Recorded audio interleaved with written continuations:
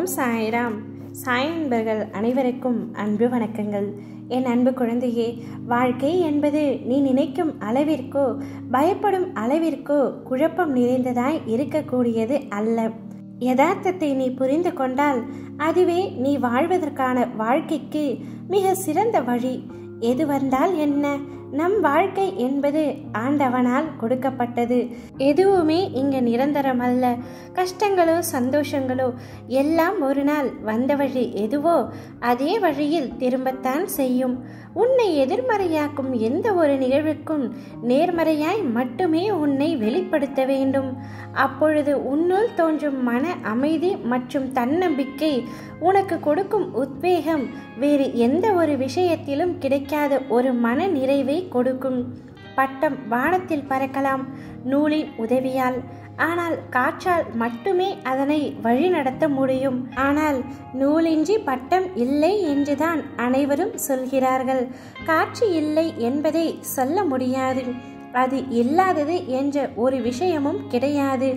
உன் வாழ்க்கையில் நடப்பவை எல்லாம் நூல் போலதான்.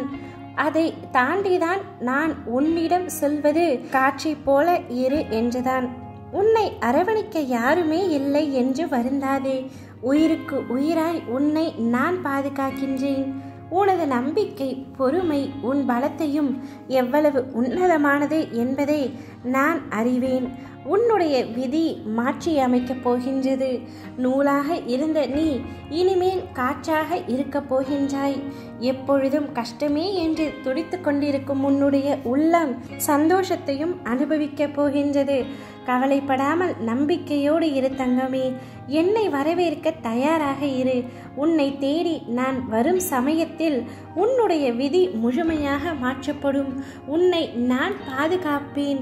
உன் குடும்பத்தை பற்றியும் நீ கவலைப்பட தேவையில்லை. நான் உன் குடும்பத்தையும் பார்க்கின்றேன். உன் குடும்ப உறுப்பினர் யாருக்கும் எந்த தீங்கும் ஏற்படாது என்பதை நான் உனக்கு உறுதியளிக்கின்றேன். இது நாள் வரை நீ பட்ட கஷ்டங்கள் அனைத்தும் முடிவுக்கு வந்துவிட்டது. உனக்கான விடிவு காலம் இப்பொழுது வந்துவிட்டது. துயரங்கள் உன்னை விட்டு விலகிவிட்டது. வசந்த காலம் ஆரம்பமாகிவிட்டது. இனி உன் வாழ்வில் எல்லாமே ஆனந்தம்தான். உன் முகம் ஆனந்தத்தில் இருப்பதை பார்க்கவே அப்பா நான் ஆவலுடன் காத்து கொண்டிருக்கின்றேன். தங்கமே என்னுடைய லீலைகளை நீ முழுமையாக காணப்போகின்றாய் மூழ்கிவிட்டாய் நீ என்று மற்றவர்கள் எண்ணும் பொழுது முத்தெடுத்து நீ மேலேறி வருவாய். இதுவே என்னுடைய லீலை.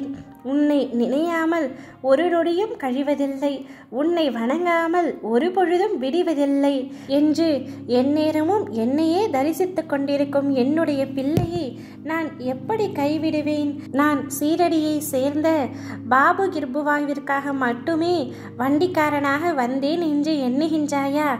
அல்ல அல்ல. நான் உங்கள் அனைவரை சுற்றிலும் உள்ளேன். என்னை நீ தூய பக்தியுடன் நாடும் பொழுது நான் உனக்காக ஏதேனும் ஒரு உருவத்தில் உந்தன் முன் தோன்றியே தீருவேன். நிச்சயம் உன்னுடைய விதி இக்கணத்திலிருந்தே மாற்றப்படும்.